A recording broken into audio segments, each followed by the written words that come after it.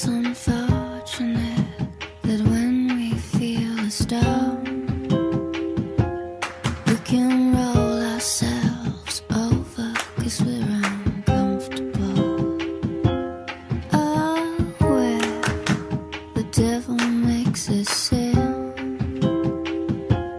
but we like it when we're spinning